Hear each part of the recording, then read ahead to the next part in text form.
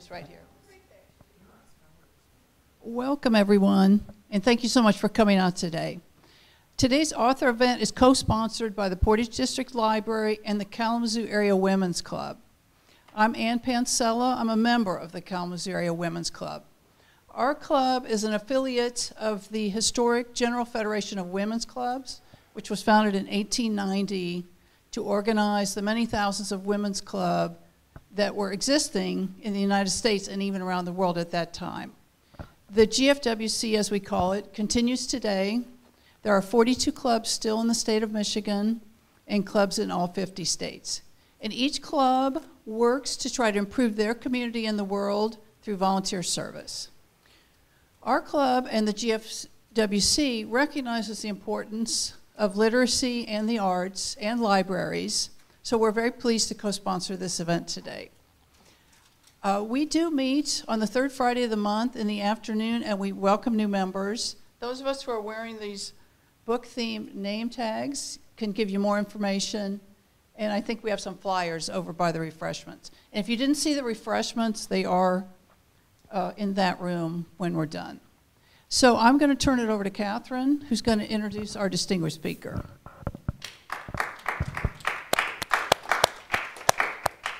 Well, good afternoon, everyone. Thank you so much for coming. Um, we are delighted to welcome Lindsay MacMillan, um, our author, and I just want to tell you a little bit about her before we get started. Lindsay MacMillan is an author, TEDx speaker, and former VP at Goldman Sachs. After graduating magna cum laude from Dartmouth College, she worked at Goldman Sachs for six years in both New York and London, rising up to become vice president. While working in finance, she carved out early mornings and weekends to pursue her dream of being a novelist. After signing two book deals, she took the leap to write full time and bring her business background into the arts as an authorpreneur. Her debut novel, The Heart of the Deal, is a contemporary love story published June 2022, and her second book is forthcoming in 2023. Strong, relatable women are redefining success in their careers and relationships are at the center of her stories. She delivered a popular TEDx talk called Love is Not a Business Deal, drawing on her experiences as a Wall Street investor and author. She now lives in her hometown of Kalamazoo, Michigan. So I love the book, The Heart of the Deal. I hope you will too. If you don't have your copy, feel free to grab one from This is a Bookstore, Bookbug. They're here today, and they are also a wonderful bookstore in Kalamazoo, Michigan. So I'm going to turn it over to Lindsay. Thank you so much, Catherine. Thank you to Anne and the Women's Club for sponsoring this event. I have to say, hometown events are really hold such a special place in my heart over the past few months that I've gotten to kind of go out in the world and go on a book tour from New York to California. There's nothing quite like coming home and sharing it with, um, you know, literally the library that I went to as a kid. And I would go, I was telling Catherine, I, we would always come on the first day of summer vacation. I went to Mattawan schools, but we had a Portage library card because I guess we were a Texas township. Um, and you know, just picking out those lists for summer readings and getting all of that inspiration that was fueling these creative dreams from even a young age. So I'll talk a little bit today about my story, my path to becoming an author, expanding a bit on, um, on Catherine's nice intro there, and then highlight a few themes from the book, whether you've read it or not, it doesn't matter. We can just kind of dive in a little bit and then, you know, answer any questions and open it up to conversation. So, you know, when I say that this is a, a life dream of mine, I'm 28 now, and you know, when I was in first grade as a six-year-old, I wrote down on a big poster board. We were given, you know, that poster that said, "What do you want to be when you grow up?" And I wrote, "I want to be an author." And also in first grade, I wrote my first short story. Um, and I asked, I was kind of a shy kid, but I asked if I could read it to the class. And I read it to the class at our Halloween party, and it just instilled some kind of, I don't know, magic of having this creative imagination tool within me and being able to write stories and then share that with other people.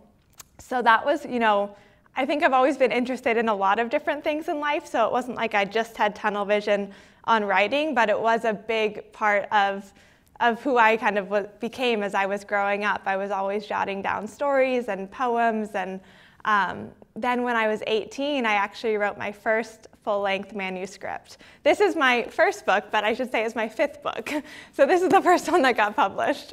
There's a joke in, in fiction writing that you have to write a thousand pages of nonsense, basically, until you can write one good page of fiction. Um, so I definitely went through that process. But for me, um, I think there's a central theme, probably in many of our lives, of taking painful experiences and then using them as catalysts for art and beauty and all of that. So my parents were getting divorced when I was a senior in high school, and the summer before I went to college, you know, I just poured into the page and I wrote this fictional book about this young woman who um, her parents were getting divorced, she was falling in love for the first time, she was moving away from home. So, kind of these themes that were adjacent to my own life, but I realized the power of fiction to be able to be free of what actually is happening, to be free of living in your own head and all of the facts there, and taking your experiences and then just transforming them and finding that liberation through absorbing, you know, through creating characters and really befriending characters and having them keep you company. That was always um, a really beautiful thing that I found with, um, with my writing. So I then went to Dartmouth College. I was the first um, person from Mattawan High School to go to Dartmouth. I was a bit intimidated by the Ivy League scene and the prep school kids and all of that. But I'm proud to say my Michigan public school uh, education served me very well, and I was able to hold my own. I went kind of the economics track because that was a liberal arts school. That was kind of the business, the business track. My parents were in business. I figured I'm not going to have them spend all this money and then come out only with a creative writing English degree. I want to be employable. So that was kind of the practical side of me, and I was interested in it. But really, my love was the creative writing, and I took my first workshop class when I was a freshman, and I just thought it was the coolest thing that I could get course credit for making up stories and workshopping the chapters of the book that I had written um, before coming to college. And then I wrote two more uh, manuscripts and got you know wonderful instruction as I was at Dartmouth, and I really learned a lot about the craft of it and how to arc the narrative, the pacing, the character development. Um, really that deep dive into prose. Uh, what I didn't feel like I, you know, came away too much with, I think there's just a big gap in, in general, is actually how do you get published? So it's great to hone your craft and become a, a great writer, but that's not enough if you, you know, want to get published. There's a whole other side that is really the business side of publishing, as I call it now, um, of understanding how do you actually get a literary agent? How do you pitch your book? How do you you know, articulate how it's differentiated from competitors in the market, but also similar to competitors in some ways so that they know there's a market for it and it will sell.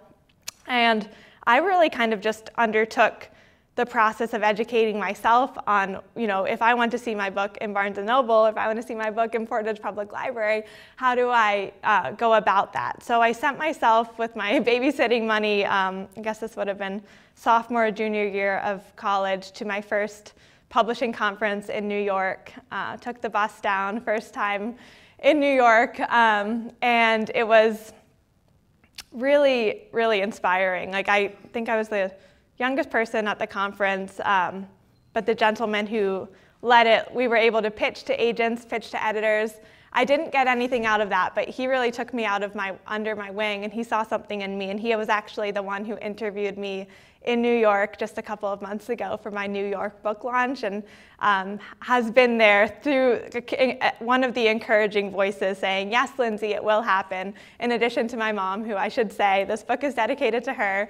She, um, she's a professor at Kalamazoo College. She's teaching during this time, but she has been my biggest supporter and fan because there were many years when I was you know, not just writing, but really revising my manuscripts, pitching them, trying to get a literary agent because the agent kind of serves as the gatekeeper between the author and the publisher for the big publishers. It's pretty old fashioned that way. Um, and then you know, I, I started a career on Wall Street, which you might say that's totally different to being an author. If you really wanted to be an author, why did you go to Wall Street? But um, like I said, I've always think I've done best when I have both of the sides of the brain going, and I felt like I had this opportunity open to me from Dartmouth that I wanted to get a career foundation, a business foundation, and believe that that was going to serve me well. Um, I'd be lying to say if, that it was easy to balance both. My first year, I really didn't write my, my writing took a backseat as I was just trying to kind of stay afloat at Goldman Sachs and kind of the stereotypical uh, junior investment banking experience where you're working really long hours, always on the clock, always on call.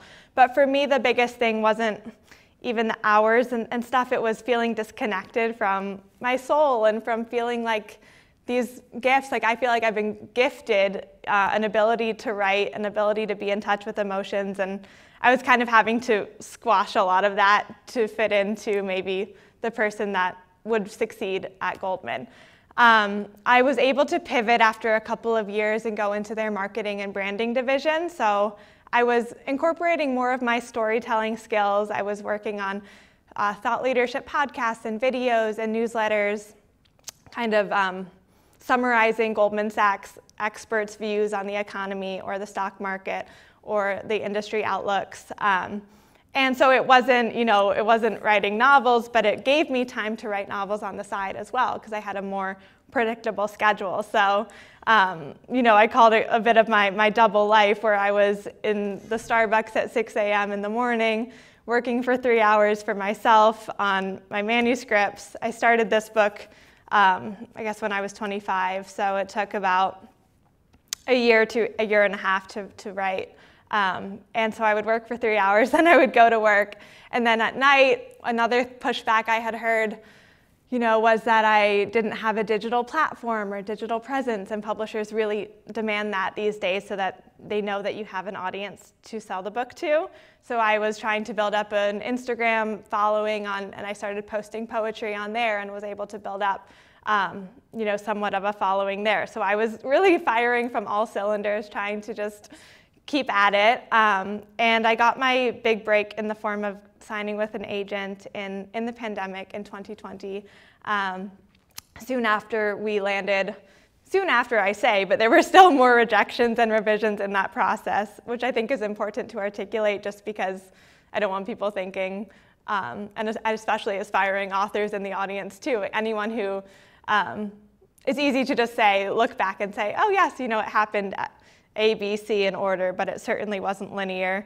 Um, this book has gone under so many different drafts and forms. Um, but I did then land a publisher and was able to get this book out into the world um, in June of this year. And I was able to, you know, take that leap and step off the corporate track, um, at least for now. But I really feel grateful for my time at Goldman Sachs, at Wall Street, getting to work in New York and London, and really more than that, take the network, the skills with me. Because um, I think for many years I kind of saw these as two competing sides of myself. Of the, there's the creative writer Lindsay, and then there's business Lindsay, and then I realized, you know, it's actually they're so much more intertwined, or they can be if I allow them to be, because a lot of authors don't have the benefit or the gift of this business background and experience, and they might not feel equipped with their you know, financial knowledge or marketing or we've had these amazing women-owned um, companies sponsor my book launch in New York because I was able to pitch them similar to how bankers pitch for deals, but I was you know, applying that to my writing. So all to say that has been yeah, I guess a 10 year journey to kind of seeing my first book through. My second one is coming out next year. Um, it's not a sequel to this, it is set in London. It's kind of inspired by um, a season of my life in London. I love having the places be very real and rooted in places that I've lived. So New York is on the cover of The Heart of the Deal. It's a big it's a big place in it. Um, and then the people and the characters in the book themselves are more you know, fiction or a more, they're, not, um, you know, it's definitely not memoir, but it is inspired by seasons that I have lived.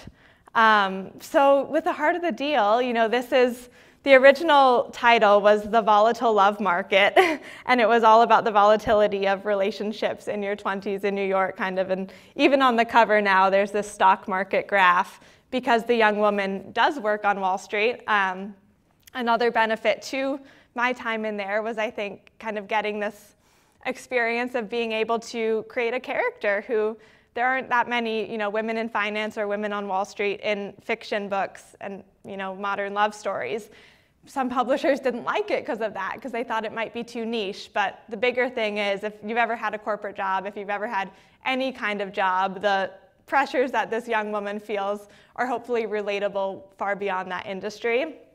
And she's really, you know, this woman, Rae, she is 25 at the bottom of the corporate ladder on Wall Street, you know, feeling like she is behind when it comes to ro- romantic relationships or work, um, trying to keep it all afloat and really leaning on her female friendships to keep smiling through it all. Um, so, although in a way it's kind of branded as a rom com or a romance book, it's, it's not. It's a, I call it a modern love story, but it's really exploring love in all of its forms. It's exploring most of all self love and learning to fall in love with your own path, free yourself of other people's expectations, um, get that confidence that, you know, at any age, I personally have felt it in, in your 20s where you're all kind of spit out into the world looking around thinking, what am I supposed to be doing? They're, they're doing that over there. Am I, you know, um, you know, what's, what's authentic to me?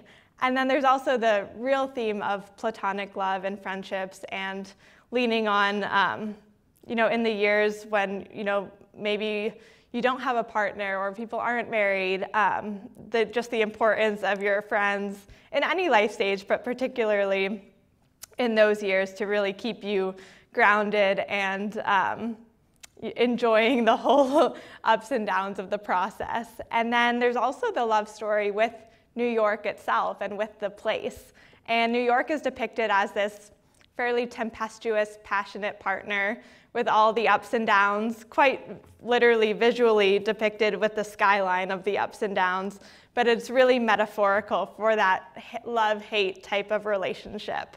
Um, and then the characters that Rae and the male characters that Rae falls for in New York, um, you know, have, have similarities that are kind of the metaphor expands into the, into the people as well. Um, and, and yes, there is the element of uh, romantic love and figuring out really what characteristics you're valuing in a partner and um, how you also set boundaries and support someone with mental health challenges. So people might look at this book and people have looked at this book and said, oh, it's a cute pink book. Why are you talking about depression and mental health? Because one of the love interests, um, whom Rae dates, does battle depression. And that is a that is a theme throughout the book, that is a challenge that is expressed. Um, but the book is not holistically about mental health and about depression. For me, it was important just to depict real characters, even though they're fictional, but the prevalence of mental health um, and the impact on relationships just isn't really talked about that much. It's starting to be more, but explored in modern um, fiction generally it's kind of like it's a book about mental health or it's not touched at all. And so I wanted to weave in characters who battle those challenges and explore the messiness, explore the honesty that there is no solution. And that's kind of what Rae comes to realize, not a spoiler, but her journey to accepting people as they are, supporting them as they are, um, but also not losing herself in that process. And so that's why I say overall, it really is, I think, about Rae learning to love herself and her own path and gain that confidence to chart her own, um, her own trail in the world and step off, quote, the conventional track. So those are, you know, some themes from, from the book. I guess the only other one I would touch on is the beauty of um, finding poetry anywhere you are. And Rae wants to be a poet, but she is stuck in this Wall Street job. And she feels really dead creatively and really not synced in, not um, like she's, you know, not tapped into that side of herself. And one of the good things from her relationship with Dustin and her friendships is that it starts to unlock her creativity. And I see her, the relationships really just holding up a mirror to herself, um, helping herself see helping her see herself and parts of herself more clearly. Um, and she and Dustin start playing this game that they call poem spotting. And they just go on their day off from work and they go to Brooklyn cafes and they jot in a little um, in a little notebook that he calls the Stall Street Journal because it was a little gift that he gave her to write little poems in the bathroom stall, which was her only refuge from the guys at work. She would kind of take her coffee breaks essentially in the bathroom. Um, and they just look around them at these everyday things. So it could be the way the light is shining on the window, the scarf that's dragging on the ground, and they would create little poems, just one line about it, and just learning to see the world through that artistic lens. And it's so easy, particularly, you know, in a place like New York and Wall Street where it's the rat race and you're just on, on, on. But in any of our lives, it's really easy just to kind of focus on the logistics and going from point A to point B without observing these little hidden moments of poetry throughout. So in a way, I almost thought, think of this whole book as a sneaky poem that is um, hopefully encouraging people to open their hearts and um, you know, get to know the characters and then get to know their own story a little bit better from all of that. So that's kind of an overview of my journey to it, the, the book itself, um, and yeah, I would love to, you know, answer any questions or go deeper into, into certain areas. Anne? Okay. I have a question about your um, process. Once you found a publisher, uh, did they change your manuscript much, or did you at any point feel you lost control of it? That's a really good question. Um, no, I did not feel like I lost control of it, but there were moments where, for example, um, even at the agent stage, I had a bigger agency, an agent from a bigger agency who um, really saw the book, liked the book, wanted to take me on, but really wanted to pivot it in a very different direction. Versus the agent I went with, Abby, she's been wonderful. She um, I, I, never want people telling me that they don't see revisions or ways it can get better because it can always. But I really felt like her points were going to help the book become stronger and not just kind of cater to serve what's marketable or my biggest tension I think has been and where when I don't write as well it's like if I'm just trying to write to please somebody else and it feels like a lot of the publishing industry is very um, it's a, it's a business in its own, right? It's just as corporate as Wall Street, candidly. Um, so I think I've been focused on, yeah, retaining, always trying to get better, trying to, yes, if I need a snappier hook, like that's where the heart of the deal hook, we had to kind of revise that um, and have this deal where she wants to lock in a husband by her 30th birthday. That was not in the original ones. That was kind of like a one liner that they could use. I ended up feeling like it was authentic to the book, and I was able to do that in a way that really honored the characters, but there were some that I just felt like um, from both on the agent side and feedback from publishers that was really going to skew it in a direction that I wasn't uh, as comfortable with.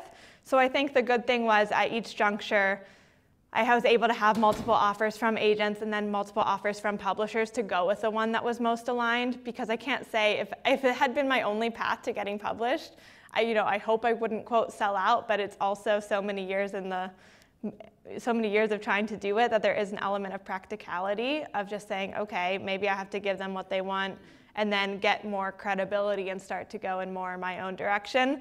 But with this book, I really felt like I was able to retain that. Um, and my editor didn't really pub, they don't really, she had very minor uh, revisions. So I did more revisions at the agent stage because the agent takes an editorial role in terms of providing that feedback. Um, my publisher, the, my editor, really didn't have much, um, just little things.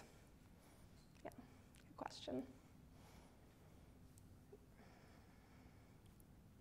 So, how did you learn to write?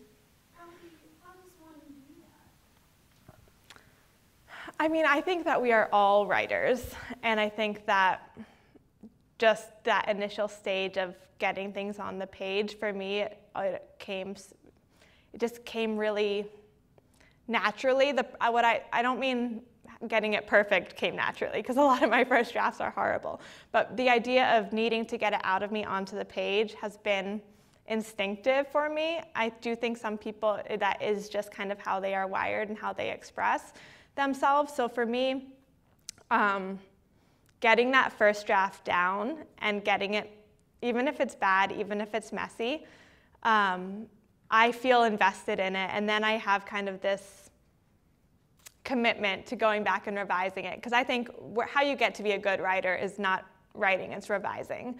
Um, so I, I don't think any author would say that you know their first draft is some great work of art. Um, it may be for me. I like to feel like I'm invested in the characters. I'm there's something pulling me into it, but just the I mean it's mostly discipline and dedication just to slowly then building up in the second draft um, based on yes what I've learned in writing workshops, like I find writing workshops where you kind of sit around a table and there are 10 people around it or so. You all read each other's work, you say what you think is working, you say what you think isn't. The professor will give you feedback. Um, and then reading, obviously, a lot of things in that genre and a lot of kind of how to writing books, like knowing the rules before you can break them. But it is a very slow process of then building up each chapter and each scene. And I think that's what sometimes gets a, a, a misperception where you think, oh, I'm you know living my dream, I'm following my passion. Every day is this passionate. I'm just write uh, write really well and it's in flow and all of that. Most of it is you know really not that glamorous at all. It is much more just taking. In my case, when I was balancing it at work, you know, could I do, could I revise three pages a day and make those three pages good? Um, and just build, build, build that up, and then go basically do it all again for four or five more drafts before the end. Um, and so I think it's, but also I felt like for me, the only way I learned how to write a book was by writing a book and then doing it again. Even um, as much instruction as you can get, it just can't. Like for me, my early books, I look back and the pacing, I would spend way too long on certain sections and then way too little on the next, and the time didn't flow very well. And that's something where, as a reader, hopefully you don't even almost think about that because you feel like it's just flowing. But from an author standpoint, it's very difficult to achieve that balance um, and advance the plot while advancing the characters and their growth. So for me, it's been kind of yeah, the combination of just trial and error plus all of the more formal workshop setting stuff and just carving out and kind of like holding sacred this time of day that even if I only actually get a paragraph edited, or even if I, if maybe I'll get, you know, 10 pages that day, but um, committing to it because it is a, it's not something that just happens. yeah. Hello. Hello. Can you hear me? Yes. Did you have an endpoint in mind when you went into this book, or did you just kind of let it take you where it was going to take you? That's a very interesting question. Um, yeah, so did I have an endpoint in mind, or did I let the book take me? And I've tried it both ways because in the beginning, when I was getting pushback from publishers, and they said, "Oh, you don't have a strong enough hook. It's not." You know, the plot, they put such a premium on plot and what happens versus I've always thought good writing and good characters, you know, speak for itself and it can kind of go where it wants to go. Um, so there were times when I actually would try more to outline the book and I would have more, here's what's going to happen, um, and try to write to that. It has never felt organic to me. It has never felt real. So I've always end up, ended up throwing those away and essentially starting back from, from ground zero. So for this one, I really, I didn't plan. Um, the first draft, but, but if you read the first draft or looked at it, um, it's entirely unrecognizable to this. So I kind of use the first draft as the exploration. I roughly say that my books have three main stages of the drafts. The first is exploration, and you just really let the book go, you let it be bad, you let the characters meander, and you just try to you know figure out the heart of the story. Um, the second stage is the um, execution of it. So that's where you're really building it up. And then the third stage is the elevation, where you get to play around with word choice and you get to drop little hints from chapter two that you pick up on in chapter 21, um, and all of those things that kind of just polish it. But you know, there's no one way, one right way or wrong way for it. But for me, it has always just felt um, more truthful to my characters. Maybe that sounds like a weird thing to say, but I've never felt like I can tell them what to do. They have to tell me what they want to do. Um, there were scenes where I was writing this book. Again, I worked on it largely in the Starbucks across from Goldman Sachs, which is not exactly a touchy feely place.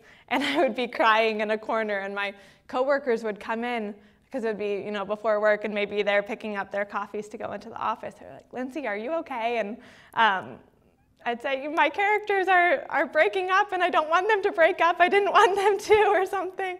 Um, and there is this moment of that spontaneity of them sort of speaking to me.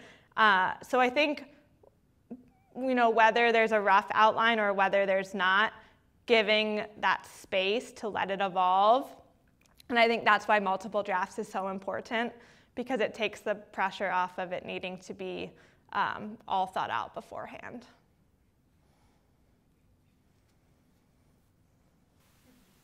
Do you write every day and what, you know, mornings or when? And where do you write? Do you write at home or coffee shop still or Yeah. where? Yeah, so I'm candidly figuring out my new schedule fairly real time because I had one schedule when I was working my day job and then doing this on the side. In a way, it almost, you know, it forces discipline. When I knew that I was going to be working, um, you know, whatever from 9 a.m. to 7 p.m. for Goldman, I had to structure my writing around that. So for me, I'm generally a morning person, and I knew that that was the time of day I could protect for myself because I didn't know necessarily how long I would be working or if I'd have to do something after work. Um, so I carved out mornings and I've really kept that with me as my kind of sacred time for the new books that I'm working on. Um, and I don't know, it's like if you feel off if you maybe haven't gone on your walk or worked out or um, you know, eaten well. I kind of feel off if I don't get my good write in. Like everyone around me can kind of tell I'm just a bit more irritable. Um, having said that, I'm continually learning the value of having a day or two a week where I unplug completely and I actually give myself that rest because I think I put, you know, I put a lot of pressure on myself, particularly now that it's my full-time job, that I don't really feel like I deserve um, a day off or that I need to be, you know, constantly churning out more because I have more time. Um, but yeah, so I'm, I try to take Sundays off completely. Um, and then I work in the mornings now for about three hours in the morning for new material. And then I do a lot of my business side of things. So whether that be setting up events, brand partnerships, um, you know, working on pitching a new book, things like that. Um, that's more of the the other side of the brain kind of in the afternoon. And then maybe I'll edit some pages that I wrote in the morning in the evening. So generally the morning is kind of that one devoted time. And I'm trying to let myself sleep a lot more now, rest more, and I'm kind of understanding I don't actually have to be three times more productive just because I don't have my Goldman job.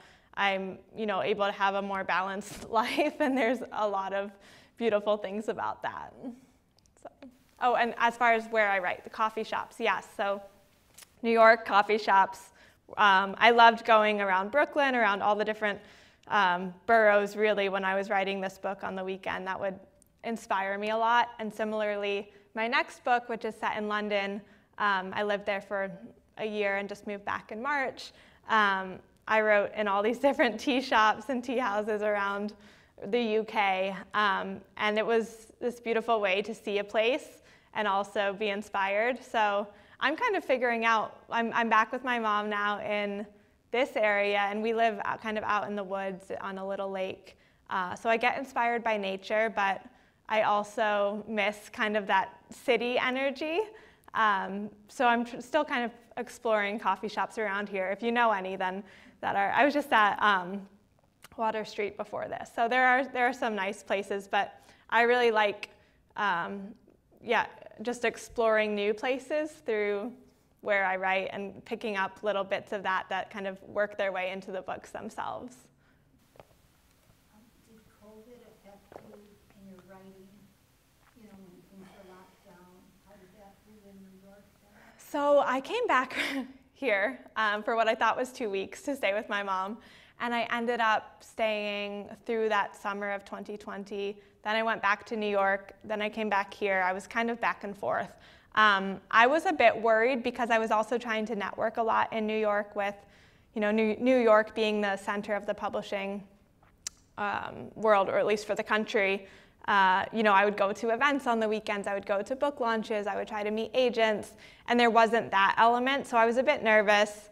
Um, but I ended up just getting my agent through, you know, queer- querying through emails, and we zoomed. And you know, I've still never met her. Actually, yeah, she came to my book bug event in um, in June, but I didn't actually find that the pandemic held me back. If anything, I was able to not be in the office, so I was able to be more efficient with my work because uh, Wall Street, at least my experience with it was it's, it's not a place where if you get your work done early, you can go home. at least when I was junior and trying to rise the ranks. Um, they just look, they want you to be in your seat, and it's a very FaceTime culture, as they say. So when I was working from home, I was able to do the same amount of work, but have a few extra hours. So I would use those hours to either um, get time outside, which I really enjoy, or you know, spend my lunch hour writing or something, and not having someone breathe over my shoulder. So in a way, that was um, you know actually helpful to the writing. But I think if my book had launched in the height, height of the pandemic, it would have been a real shame, especially for first time authors like myself, trying to break in, trying to connect with readers. I love meeting people face to face. Zoom just doesn't have that same charm and magic. And so for those in-person events, I've been super grateful that you know pretty much all of those have been able to go off.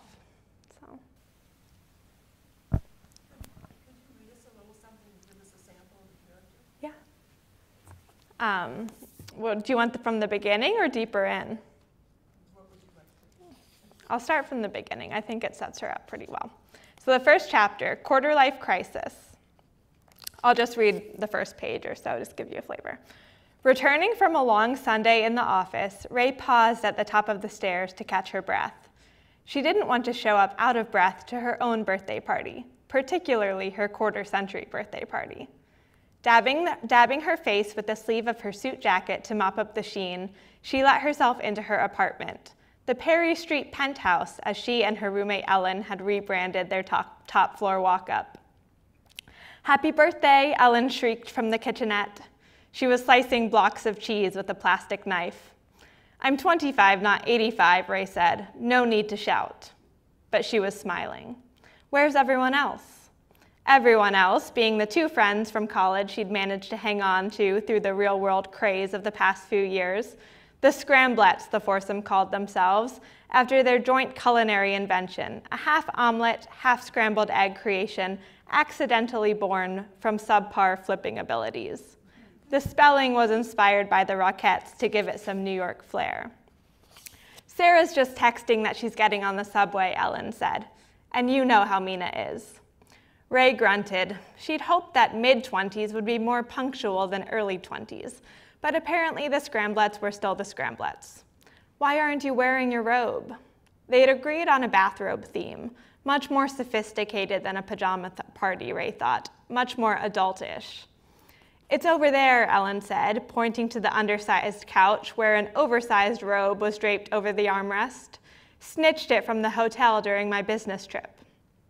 Very savvy, Rae said, retrieving her own robe from her bedroom. The term bedroom was generous. To afford West Village rent, they'd inserted a drywall to split the one bedroom into two. The wall stopped a, a, foot short of the ceiling to comply with fire regulations. Rae removed the bathrobe from one of the plastic hooks that held up most of her belongings, the ones that hadn't already fallen to the floor.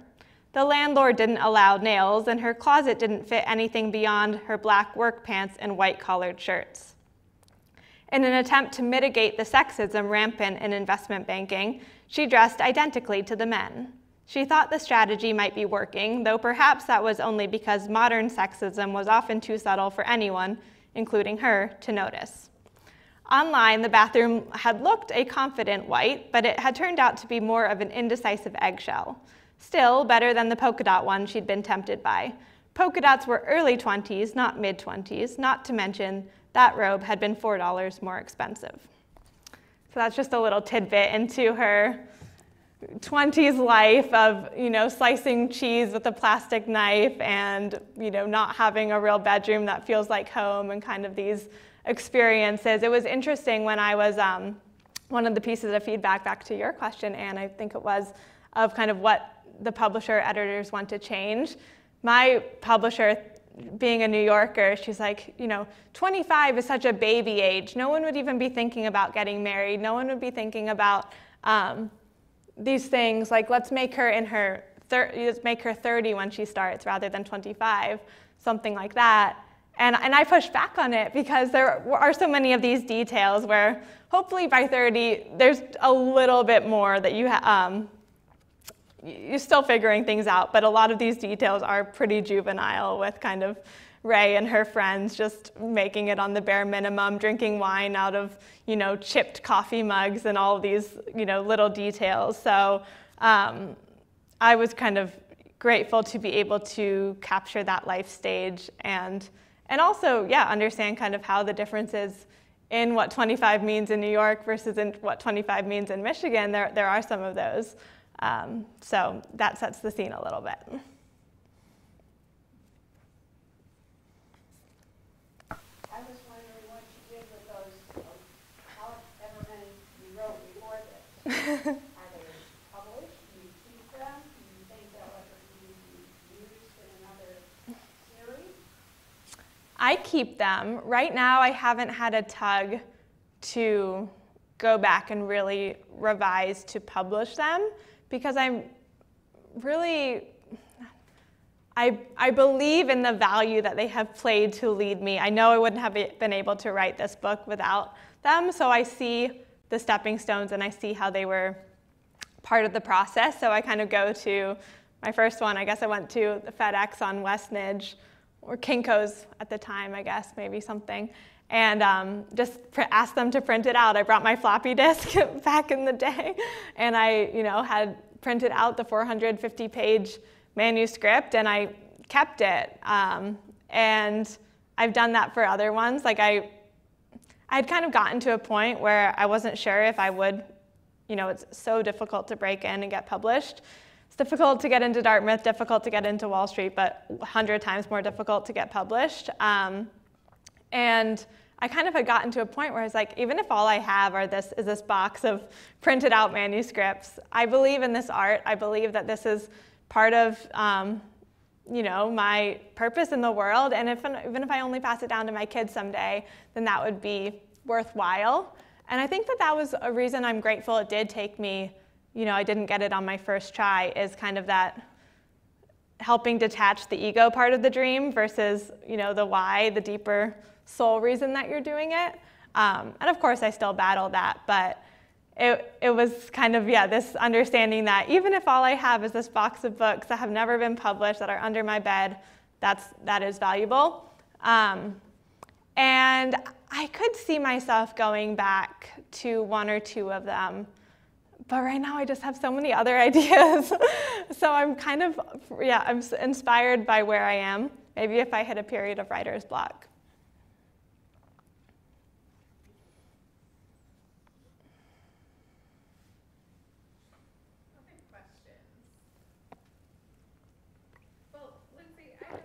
Yeah.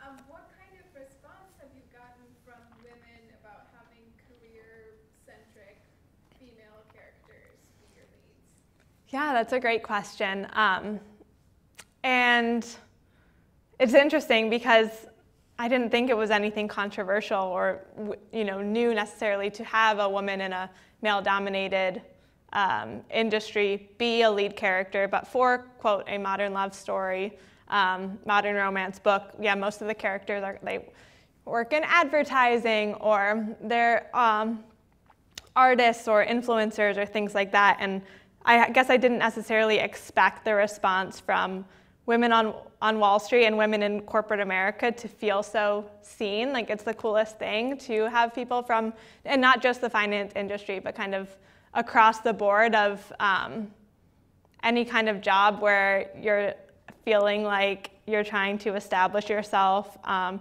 and go up the next rung, but your heart isn't in it. And the, the coolest thing probably has been, I mean, receiving notes from people, men and women, I should say, because it's, I don't like the label women's fiction because I think men can enjoy it too. And women, it's just assumed that we enjoy books written by men with male characters, so the same should be true on the other side.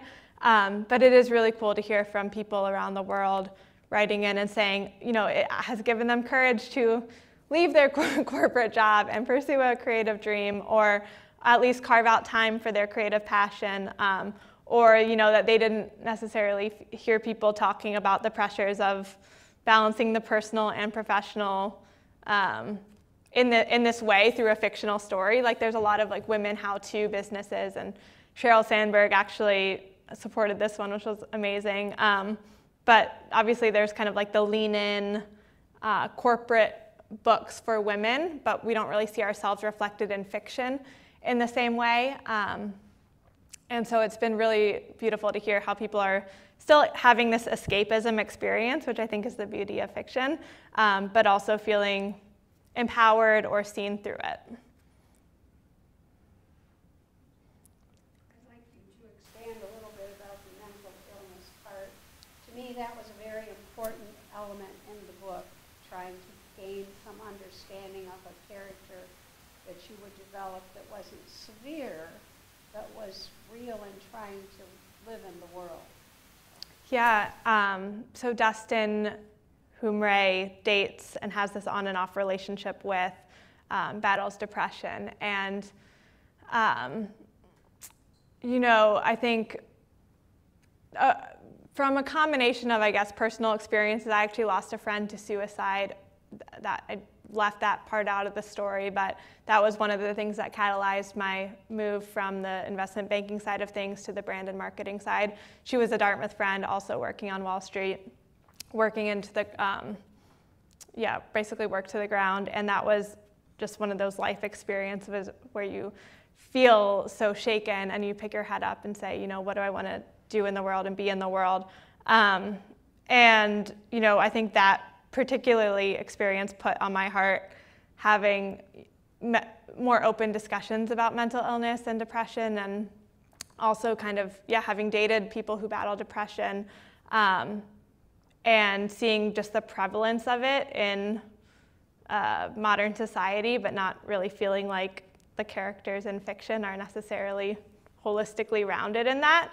But like you said, it's Dustin's depression isn't the most severe end. There's not a suicide attempt. There's not that type of thing, um, which was actually the moderation with which it was explored was a point of controversy from publishers because they kind of thought I should make it really extreme or leave it out altogether. So I'm really grateful and proud that I was able to include it where you're able to see someone who is aware that he is battling depression. He is aware that he is not emotionally available. Um, there's actually one of my favorite lines from the book is when Rae is just learning about his depression. He kind of went cold turkey on her. Um, and she you know feels rejected but then she realized wait a second there's something more he didn't just ghost me there's something more going on here he opens up to her that he's been you know battling depression and um, doesn't feel like he's in a spot where he can be a, a great partner to her and he said, you know, she's saying she still really wants to be there for him, at least as a friend. And he says, but promise me you won't steal from your own sunshine to keep my soul out of the shade. And it speaks to, you know, his observation that it was going to take a toll on Rae, whether she was a friend, whether she was more to him. Um, but then you still see elements where he almost just to an extent takes advantage of her kindness or is still she is still trying to pour herself into him so much and fix it and this messiness that i think is just really the characteristic trait of mental illness um, is that it doesn't just impact that person, it spills over into their relationships. Um, and there's not, a, there's not a fix. So it's ultimately this boundary setting.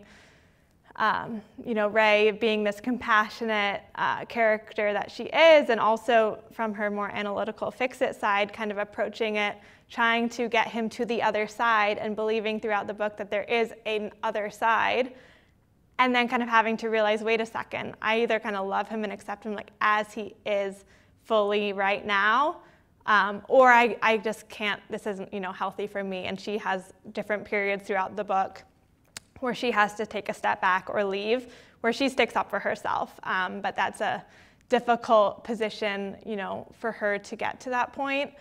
and um, I, I, what I hope to depict is really, yeah, what, what, what it's like on both sides. Not that this is any way speaking to everybody's experience. It's not a um, pervasive, universal exploration of mental health, but in one specific story, um, people getting a little bit more understanding or empathy or feeling um, validated or related if that's something that they've experienced in their life.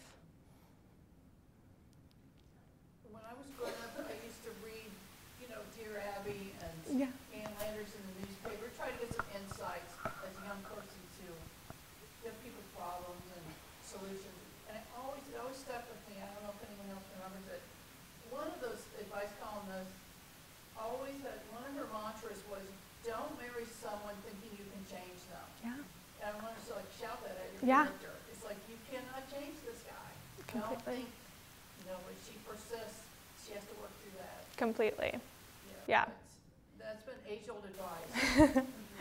yeah, so I think, like I said, I think these, a lot of these themes are cons- can be consistent at different life stages, but I think particularly in her 20s where there is still a lot of that um, idealism that she has to work through. I think you also brought the mother into that into quite a bit with the concern of the mother about Dustin and and her then raised sensitivity to that, that she, she knew there was other awareness of this problem and this issue. This had been ongoing, and and um, and as a parent, you you have a sensitivity to that. Whatever your child is going through at whatever age, you know that that. I thought that was a nice element, if I'm remembering that correctly. Yeah, you are, and yeah, Rae's understanding that um, you know, the last thing she would want to do is just leave Dustin and have him have no one. So she knew, knew that his parents and his mom particularly um, had been helping him through.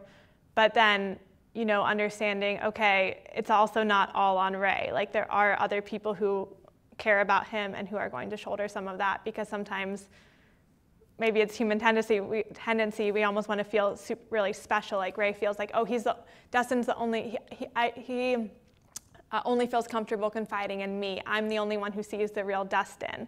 Um, without me, you know, he wouldn't have anyone. And there's also, I think the mother's role was important there because it was almost Rae, not passing a baton, but share, shoulder, sharing some of that um, knowledge and burden. Not that, not that he was a burden, but um, just sharing that experience of supporting somebody and, and letting herself acknowledge that there were other people who cared about him. We're about out of time for questions. Are there any final questions for Lindsay? Lindsay, would you honor us by reading um, anything that you consider one of your favorite parts of the book? Because I always find it interesting what, what parts authors uh, love and hold on to after they uh, get a book published. Yeah, absolutely. I'm going to try to find the um, section that I alluded to that quote about Dustin sharing about his depression. So, just a moment.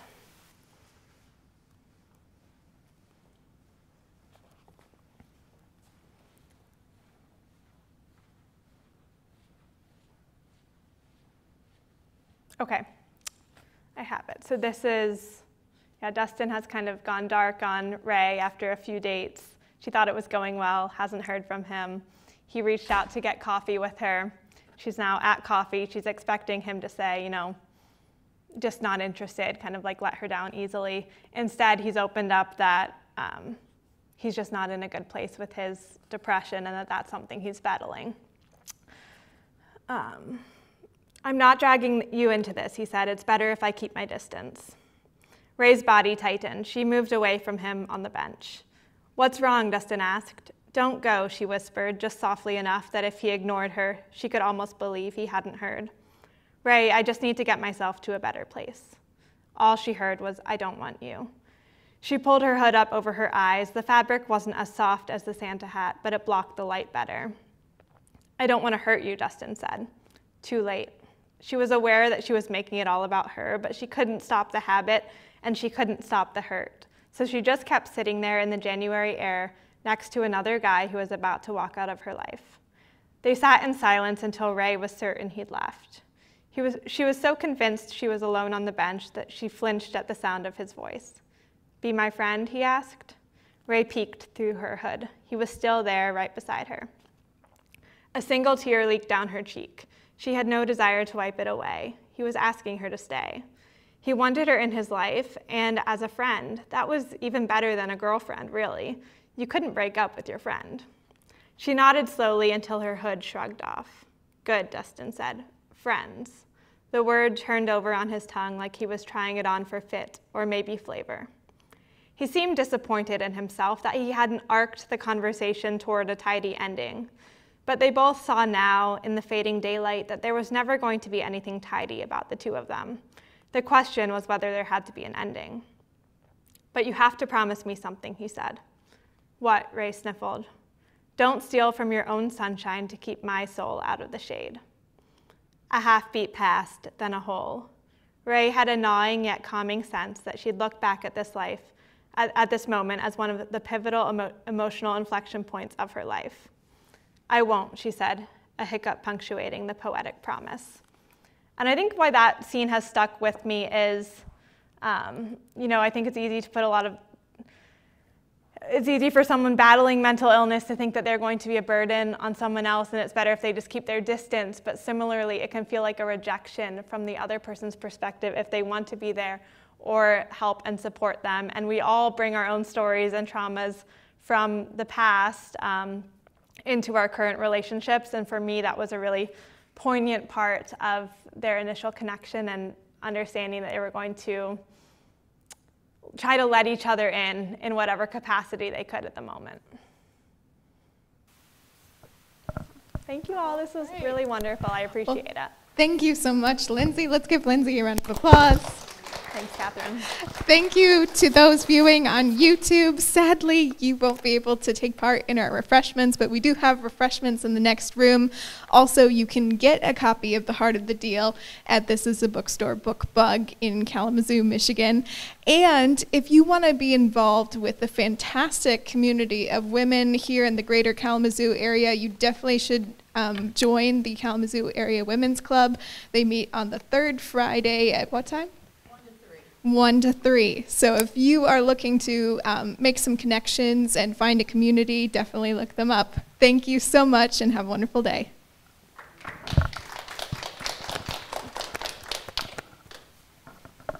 Well, thank you again. I appreciate